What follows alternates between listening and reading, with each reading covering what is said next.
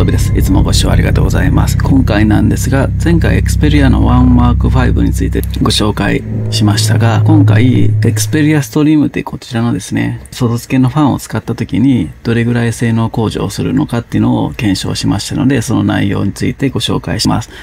あとですね、今回の OneMark5 がどれぐらい端末として実力を持っているか、端末単体での限界性能を見たので、そちらについてもご紹介します。まあ、前回のレビュー動画ですね、ここに書いてますけど、まあ、端末としては、ま総合得点88なんですが、一番の問題が 8Gen2 の性能を引き出せてないってところです。まあ、こちら非常に性能がですね、悪くて、8Gen2 の性能の半分以下の性能になってます。こちらですね、結果として1519、まあ、かなり性能悪くて47度収束で、そんなに発熱も抑えられてない。なので、端末単体としてはかなり厳しい結果が得られてますと。で、この Xperia Stream をおそらくつければ、この問題が解決するっていうことを、まあ、前回のレビュー動画で想像で言ってたんで、今回実際にですね、つけて、どれぐらい解決できるのか、性能があるのかっていうのを測定しましたので、その内容についてご紹介していきたいと思います。まあ、こちら、Xperia Stream なんですが、こちらについては Xperia のワンマーク4のレビュー動画で紹介しますので、説明の方を割愛させていただきます。はい、それではですね、測定結果についてご紹介します。こちらがですね、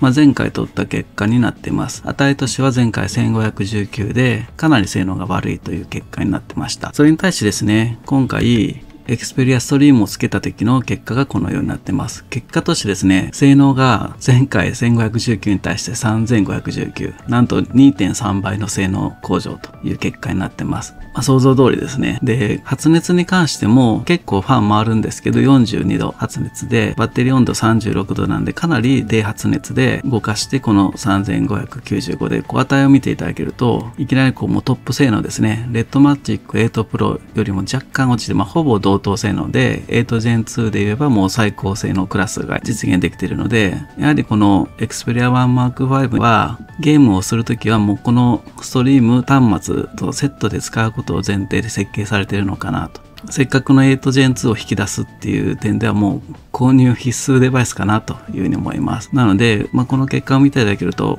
今回 8Gen2 を搭載した意味もですね、ゲームをやりたいときは非常に意味があるので、まあ、性能としてはもう十分ないかなと思います。で、こちらの方ですね、これでまあ、Xperia Stream 使えばこれだけ性能上がるってことは分かったんですが、じゃあ端末としてどこまでいけるのかってところで、この Xperia Stream つけたときに、サーマルブーストっていうのがオンにできるんですね。これオンにすると、以前メーカーの人に聞いたんですけど、サーマルブーストオンっていうのは、サーマル制御がより性能を出す方向に変わるっていう話だったので、このサーマルブーストオンで、じゃあ端末としてどこまで頑張れるのかっていうのを、このファンをですね、塞いで、ほぼ端末単体と同じような環境を作り出して、性能評価をしたのはこの結果になってます。で、結果としては、サーマルブーストオンにするだけで、非常に温度がですね、高くなるんですが、13、それと同等性能2833。まあ、サーミの13だと2920なんで、若干低いですけど、ほぼ同等レベルの性能まで実現できることが分かりました。まあ、温度収束に関してはバッテリー温度がですね、このブーストオンにしないときは47度収束なんですけど、まあ、それが52度収束で、サーマル制御も変わるおかげで、2833まで性能を上げられると。で、本体の発熱はですね、結構すごくて、56.6、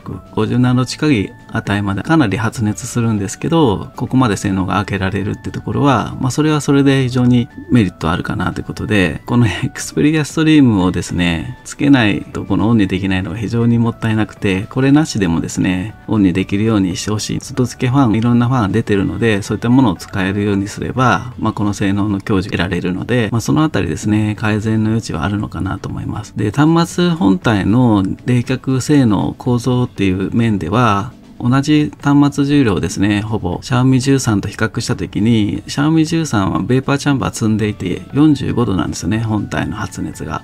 まあ、それで29。2実現してで 187g のエクスペリアは、まあ、いろんなものが詰まってるっていうのがあってペーパーチャンバー積んでないっていうのがあるんですけど56度約プラス10度ぐらい高い温度でこの性能なのでこの端末としてですね冷却構造のところがですねちょっと弱いかなと思います、まあ、自作はですねペーパーチャンバー積むとかあとマイクロ SD とか機能どっかを省かないといけないかもしれないですけど、このあたりですね、今今のフルスペックを重視したまま、この Xiaomi 13ぐらいの性能が出るところまで持っていければ、Xperia としてはですね、もうほぼ完全体になれるんじゃないかなっていうところなんで、ここはぜひ頑張ってほしいなというふうに思いました。まあ、端末実力としては可能性はあるんじゃないかなってところで、この Xiaomi 13をちょっと今回参考に出しましたけど、そこはですね、技術で何とかしてほしいなというふうに思います。はい。まあ、今回の結果でですね、だいたい Xperia 1 Mark 5の性能面が抑えられたんですけど、まあ、カメラに関しては、今、アコース R8 Pro 待ちなんですけど、まあ、各社のですね、フラッグシップ端末